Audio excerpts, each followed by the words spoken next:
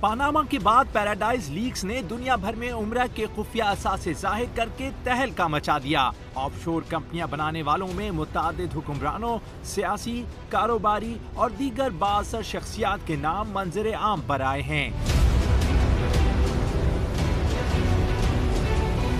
Paradise leaks میں ایک سو اسی ملکوں کی پچیس ہزار سے زائد کمپنیوں ٹرسٹ اور فنڈز کا ڈیٹا شامل ہے۔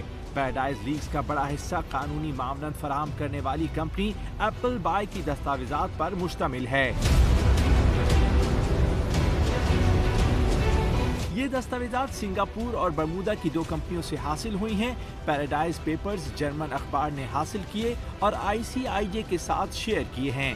انیس سو پچاس سے دو ہزار سولہ تک ایک کروڑ چونتیس لاکھ دستاویزات کا ڈیٹا کھنگالنے کے لیے اس تحقیقاتی کاوش میں سڑسٹھ ملکوں کے تین سو اکیاسی صحافیوں نے حصہ لیا۔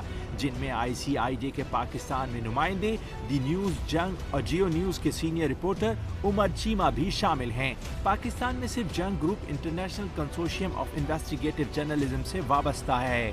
یہاں یہ وضاحت ضروری ہے کہ یہ ضروری نہیں کہ ہر آف شور کمپنی غیر قانونی طور پر قائم کی گئی ہو۔